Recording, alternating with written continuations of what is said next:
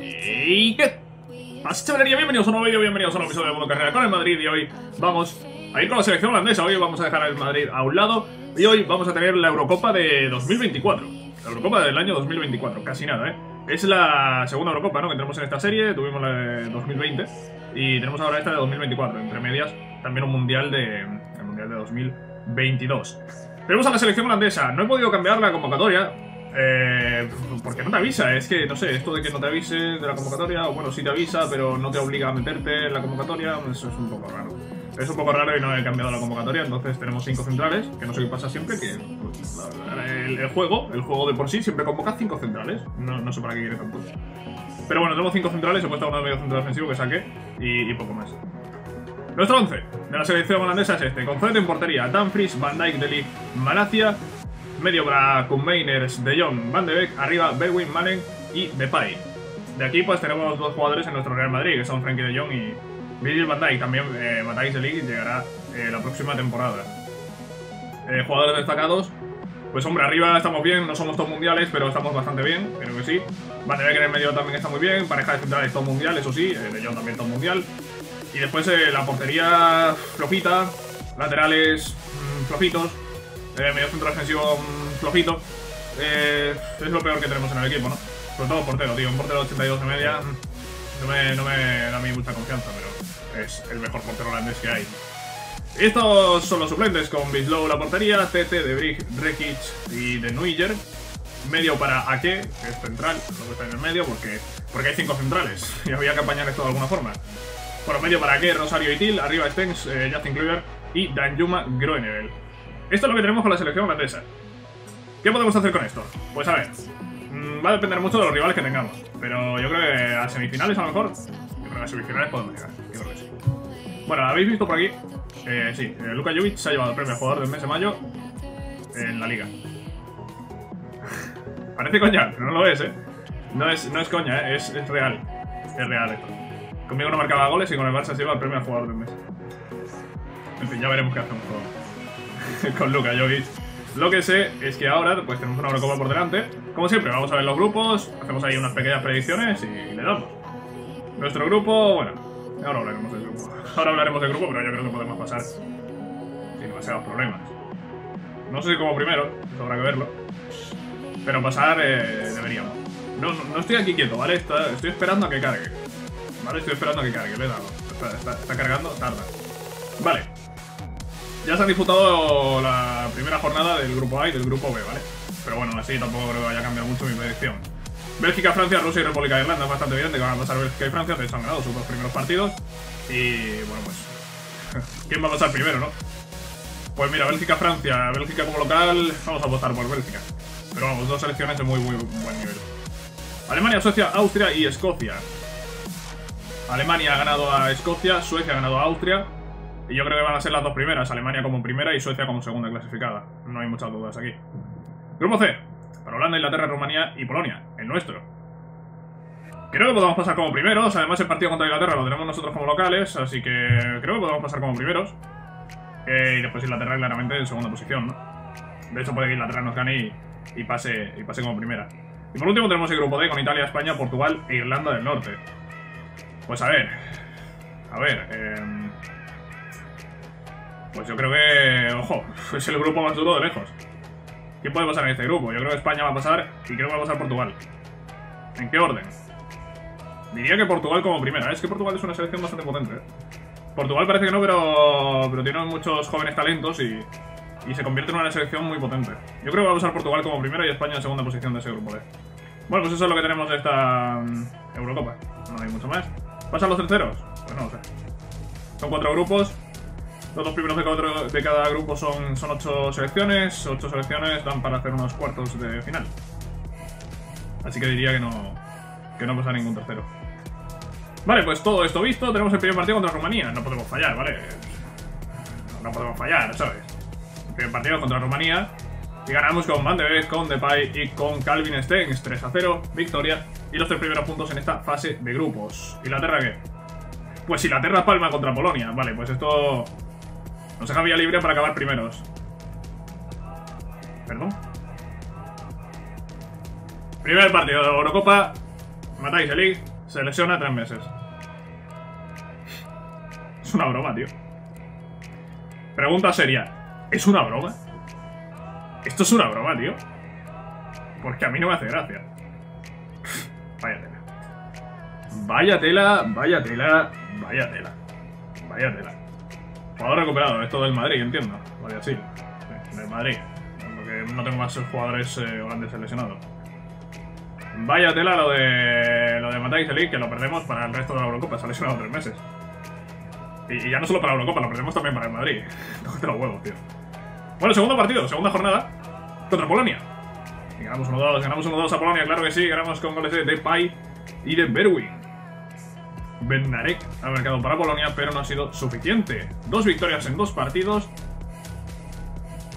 Y ha pasado lo que era más probable que pasase, que Inglaterra ganase a Rumanía y que lleguemos a la última jornada, con ventaja evidentemente, pero con la posibilidad de quedar fuera. Tenemos la posibilidad de quedar fuera. Si hubiese empatado Inglaterra, nos habríamos clasificado ya, pero no es así. Tenemos la posibilidad de quedar fuera, porque Inglaterra puede sumar 6 puntos y porque Polonia puede sumar 6 puntos, igual que nosotros. Hemos acabado la temporada, voy a hacer este entrenamiento.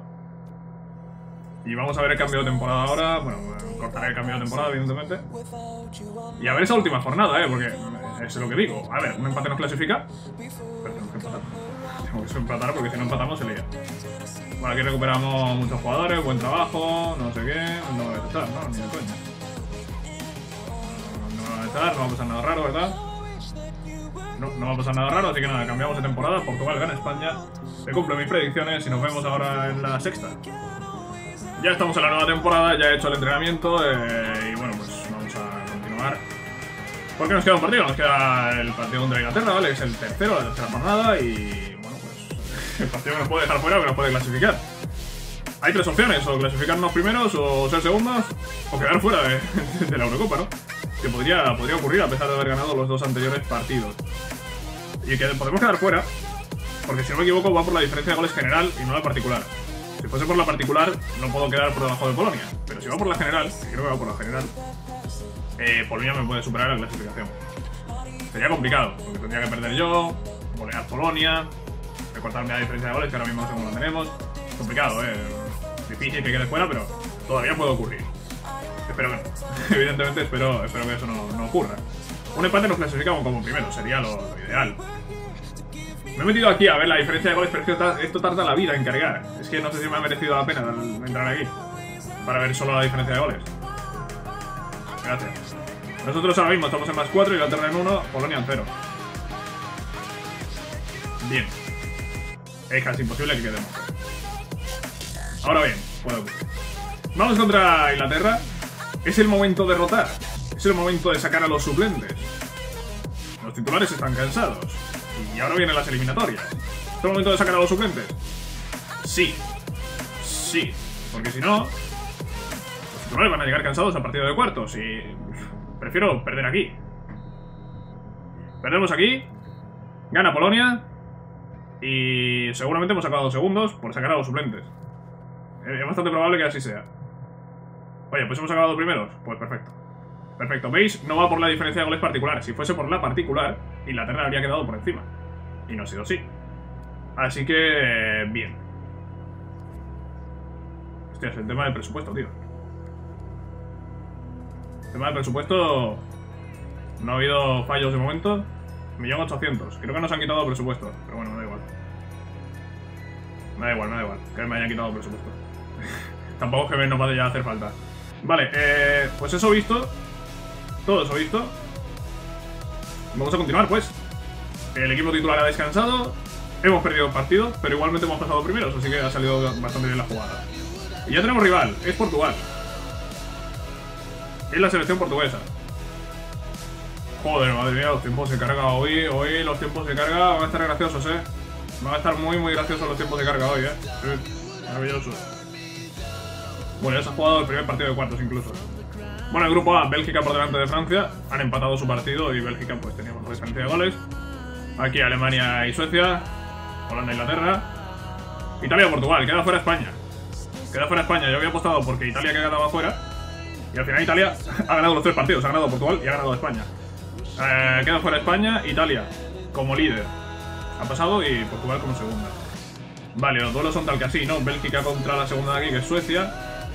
Eh, Francia-Alemania. O Alemania-Francia, creo, que creo que Alemania parte como local. Nosotros contra Portugal. E Italia contra Inglaterra. Efectivamente, así ha sido. Y de momento, pues Bélgica ha ganado a Suecia. Nosotros nos enfrentamos a la selección portuguesa. Reeditando la final de la Nations League de 2019. ¿Puede ser? Sí, ¿no? Sí. Después Alemania-Francia. A ver, eh, en el mío. creo que va a ganar Portugal. Después en Alemania-Francia. Creo que Francia puede eliminar a Alemania. Y por último, el, Italia-Inglaterra. Viendo el rendimiento que ha dado, Inglaterra, eh, que ha dado Italia, perdón. Creo que Italia va a superar a, la selección inglesa. Hay oferta por Ardemagne. Es que ahora mismo no sé ni quién es Ardemagne. Ni sé si tengo espacio en plantilla, ni sé nada. ¿Quién es Ardemagne? Es el rey de Buffon. Bueno, si lo quiere llevar el Verona o el, el equipo que sea, que se lo lleve. Ya veis, eh, a pesar de haber dado descanso antes, De Vrij está cansado, De Vrij es que no ha descansado. Pero Van sí, Van se había descansado y sigue estando cansado por este partido. Por eso he visto que era bastante necesario que ser los suplentes antes. Eh, y ahora pues... No echa a Portugal. No me voy a sorprender mucho, yo creo que... Yo creo que era lo que iba a ocurrir, creo que la selección portuguesa está muy fuerte y... Y me parece lo normal, ¿eh? Aunque estoy viendo el 11 y el 11 tampoco es nada. El que ha marcado ha sido Bernardo Silva, ha jugado Rafael Leao y diría que Ronnie López en el lateral izquierdo. Me sorprende que no haya jugado yo Félix ni Guedes. Sorprende bastante.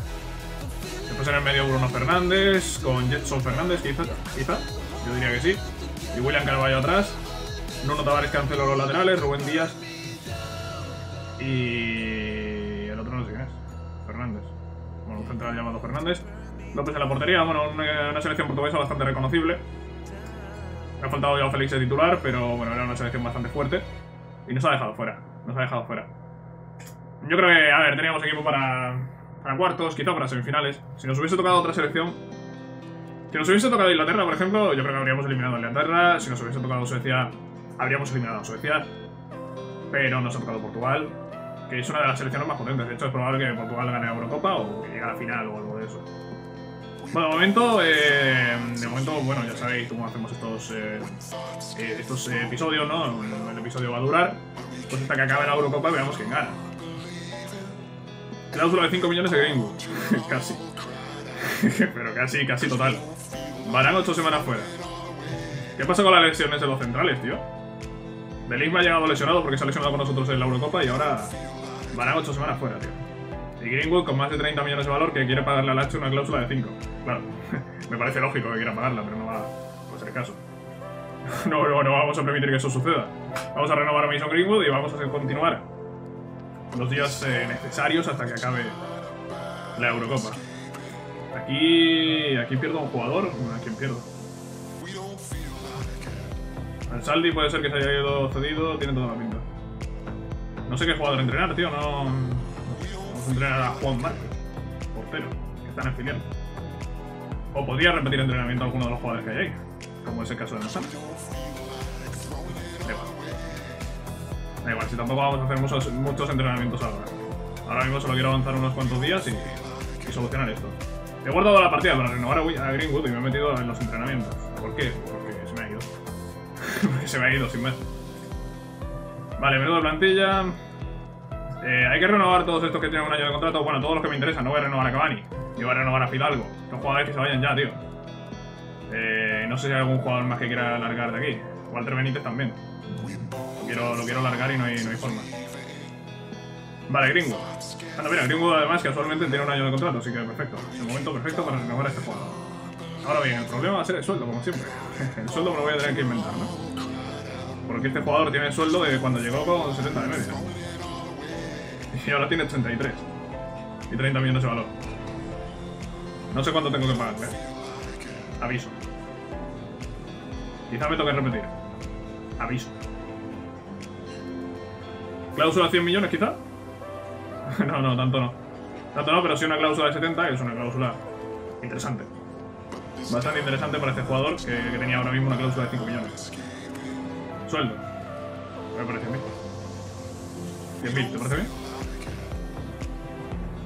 Es una oferta justa. ¿Me estoy pagando de más? No lo sé.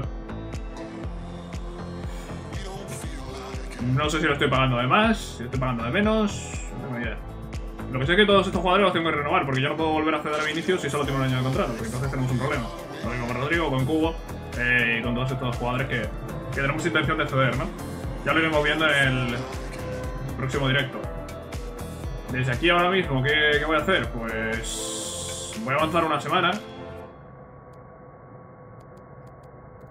Voy a avanzar una semana, yo creo que... Es posible que con esta semana que avance ya tengamos finalistas o tengamos ya el campeón incluso.